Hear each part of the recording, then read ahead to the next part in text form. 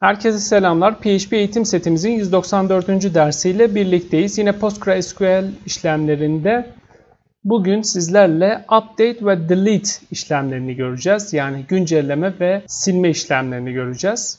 Bizim database klasımızda bunlar için metotlar vardı. Hemen o metotları görelim. Kayıt eklemek için insert metodumuz vardı. Güncellemek için update ve silmek için de delete adındaki metotlarımız vardı. Bu metotları kullanacağız. Şimdi ben burada güncelleme işlemini yapmamak için çünkü burayı bozmayalım. Burada bir insert işlemi var. Hemen şuradan gelip bir tane dosya oluşturayım. Sağ tıklayıp new file diyorum ve update aslında CRUD diyelim. Bunlara CRUD işlemleri deniliyor. CRUD.php diyelim.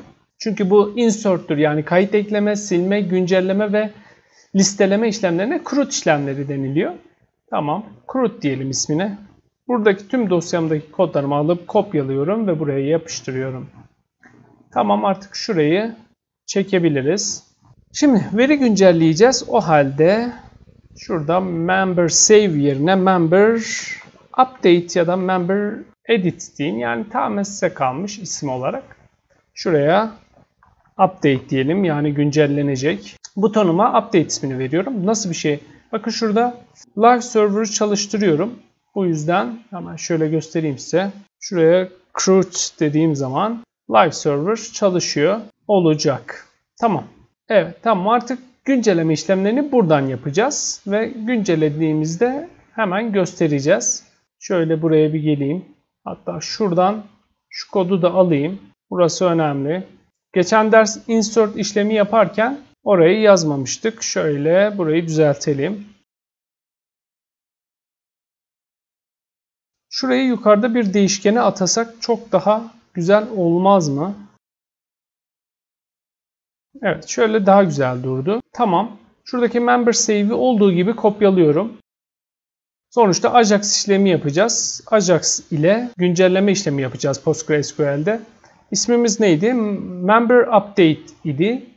Hemen şuraya Member Update yazıyorum. Doğru yere yazıyor, yazmadığımı kontrol ediyorum. Tamam. Evet isim ve soy ismini çekeceğim. Bakın şurada insert işlemini değil de artık update işlemini uygulayacağımı söylüyorum.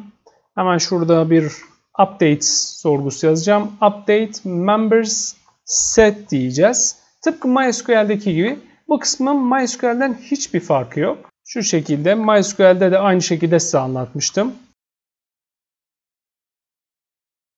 Geliyorum diyorum ki update member set komutunu kullanıyorum. Sonra hangi sütunları güncelleyeceğimi söylüyorum. Burada tek bir sütun da yazabilirdim. Fakat ben çoklu sütunu gösteriyorum ki tüm sütunları güncelleyebildiğimizi görün.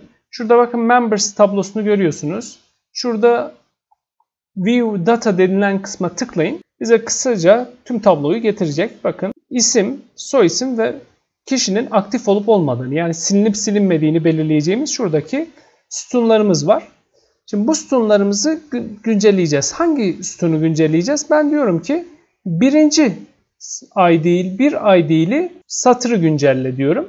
O yüzden geliyorum koşul belirliyorum. Koşullar ver ile belirlenir.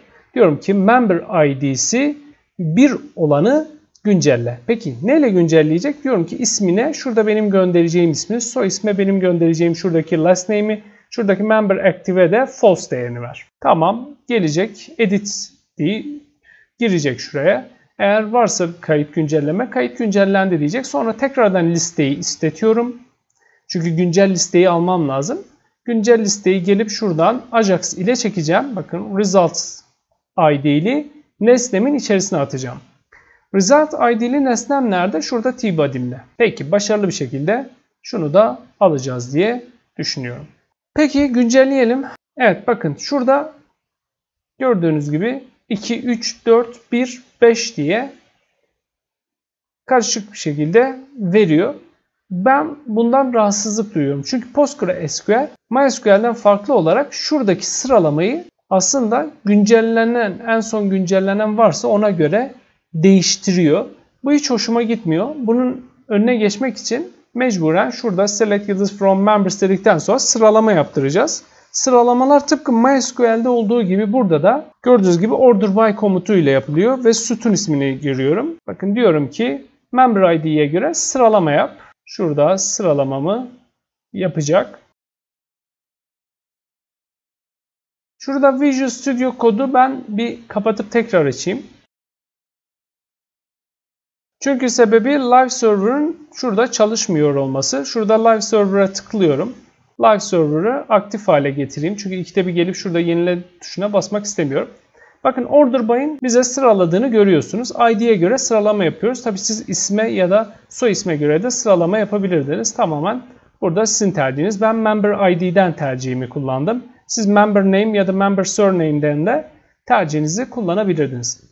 O zaman ben gelip bu sıralamanın aynısını Ajax'ta da yapayım ki ben bu güncelleme işini yaptıktan sonra burası bozulmasın. Tamam geçen derste gösterdiğimiz komutlar diğerleri.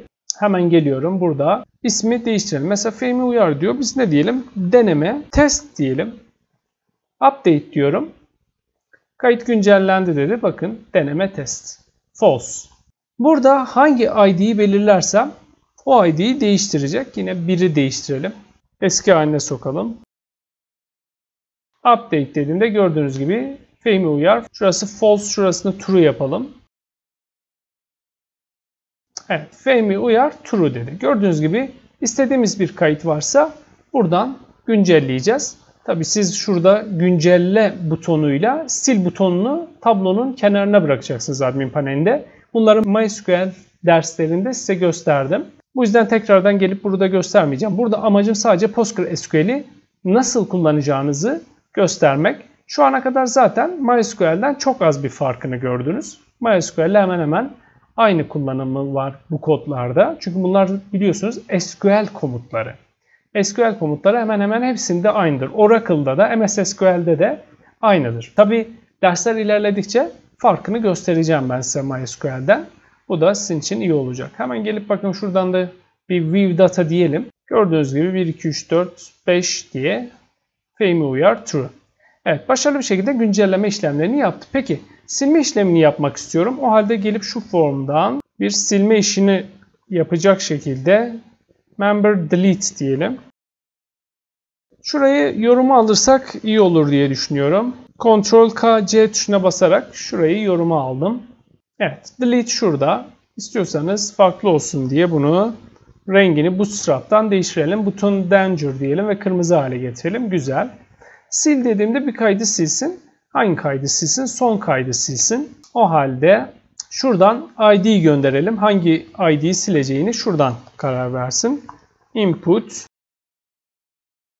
Bakın formda gizli bir input gö gönderiyorum. Name'i ID olan ve buradan çekeceğim. O halde gelip şurada delete işlemi için hemen şurada gördüğünüz gibi nerede? Şurada bakın member delete işlemini yaptıracağım. O halde şunu olduğu gibi kopyalayıp yapıştıracağım.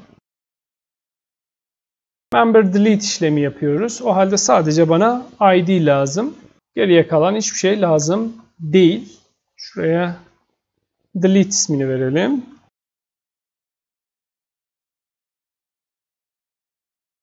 Şimdi buraya bakın. ID'yi buradaki post ile çektim. Çünkü şuradan ID name'ine sahip bir input gönderdim. Delete from members diyorum. Tıpkı MySQL'de olduğu gibi. Ve burada bir koşul belirtiyorum. Niçin koşul belirtiyorum? Koşul belirtmezsem tüm satırları sileceğim. E ben tüm satırları silmesini istemiyorum. Sadece bir satırı silmesini istiyorum. O halde ver deyip hangi satırı silmesi gerektiğini söylüyorum. Bakın member id'si benim gönderdiğim id'ye eşit olan. İlla ki id'den mi silinirdi? Hayır. Ben burada member name'i örneğin Fehmi olan ya da member surname'i uyar olanları sil diyebilirdim. Ya da member active olanların hepsini sil diyebilirdim. Ya da bir tanesini sil gibi. Burada ne verirsem o koşula göre silme işlemini yapacak. İleriki derslerde gösteririz. Gerçi bunları MySQL'de zaten gösterdim. Bunlar sizin aşina olduğunuz kısımlar.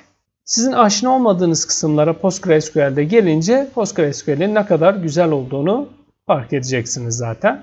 Bakalım artık silme işlemini yapalım. Delete'e tıklıyorum. Kayıt silindi dedi. Bakın 5. kayıt gitti. Hemen bakalım. Gerçekten gitmiş mi? View data diyorum. Evet bakın 5. kayıt silinmiş. Evet bu şekilde hem delete işlemlerini hem de update işlemlerini gerçekleştirebilirsiniz. Delete yani silme işlemini gerçekleştiriyorsak ki bakın hepsini silelim. Burada eğer member ID bir koşul belirtmeseydik hepsini silecekti. Bakın koşul belirtmiyorum. Şöyle gelelim. Delete diyorum. Bakın hepsi gitti. Tüm kayıtlarım gitti. Hemen tablomu gözlemleyeyim. View data dedim. Gördüğünüz gibi herhangi bir kaydım kalmadı. Bu yüzden koşulları kullanırız hangi satırı sileceksek. Evet bu ders bu kadar yeter. Önümüzdeki ders görüşmek üzere.